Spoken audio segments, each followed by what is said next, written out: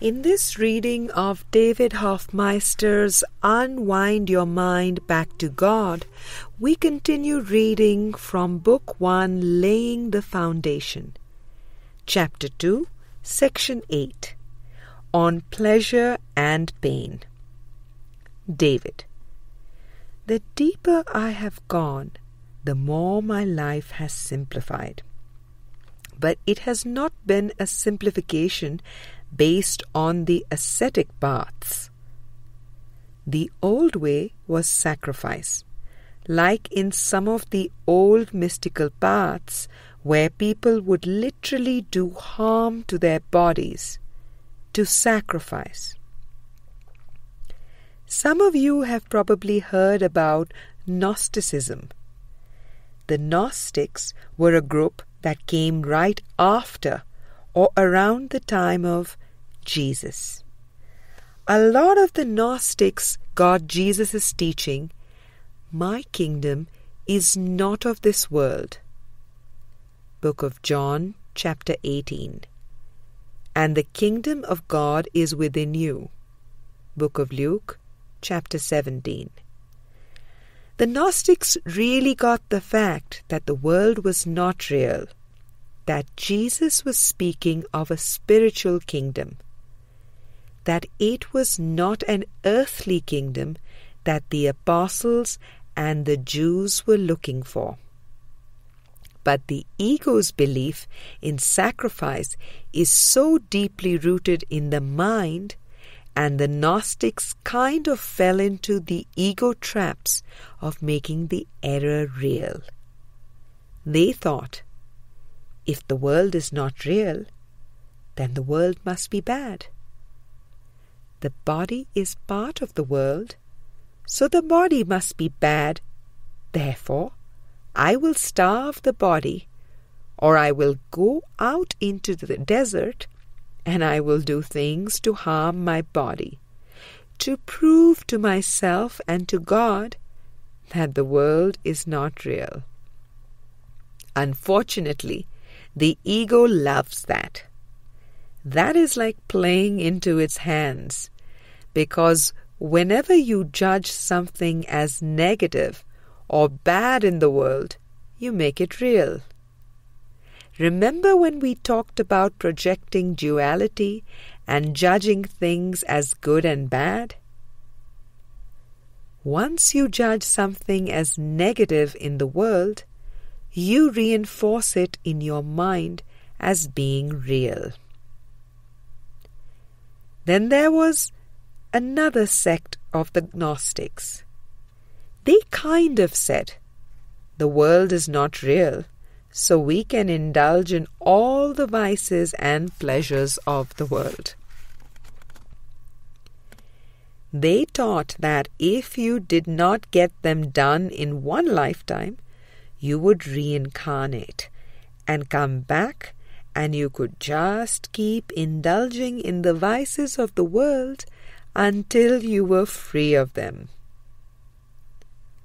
But that does not work either, because vices and both pleasure and pain make the body real.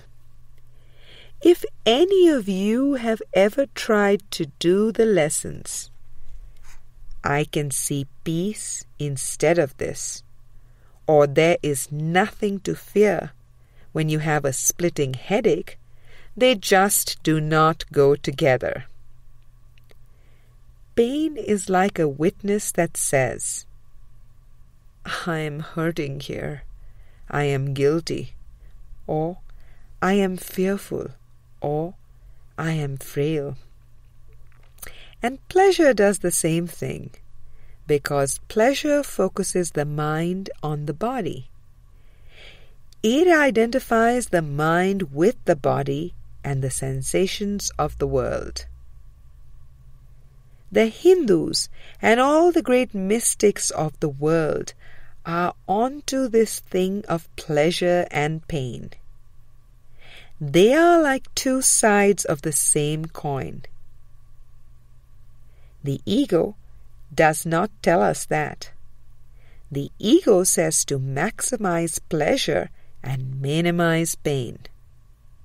avoid pain. Isn't that pretty common wisdom in the world? The mind in a deceived state actually believes it can tell the difference.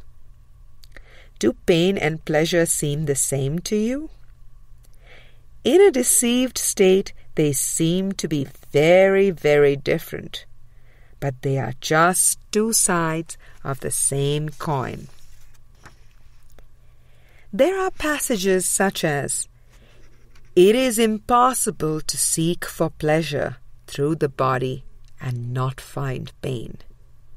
Text chapter 19, section 4.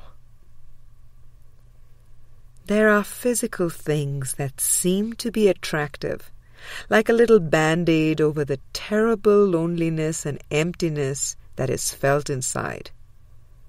It is like, this is a quick little fix. I can have that hot fudge sundae that I love.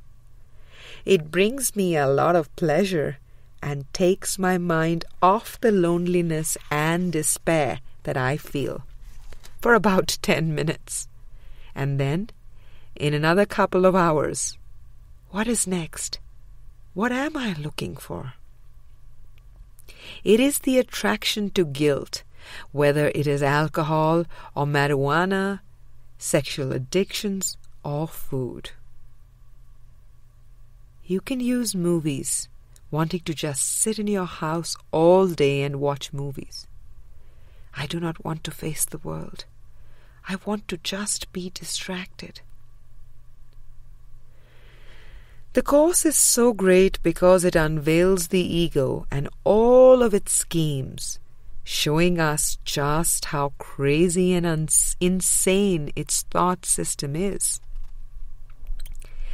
Under fear's orders, the body will pursue guilt, serving its master, whose attraction to guilt maintains the whole illusion of its existence. This, then, is the attraction of pain. Ruled by this perception, the body becomes the servant of pain, seeking it dutifully and obeying the idea that pain is pleasure. It is this idea that underlies all of the ego's heavy investment in the body. And it is this insane relationship that it keeps hidden and yet feeds upon. To you, it teaches that the body's pleasure is happiness, yet to itself it whispers, It is death. Text chapter 19, section 4.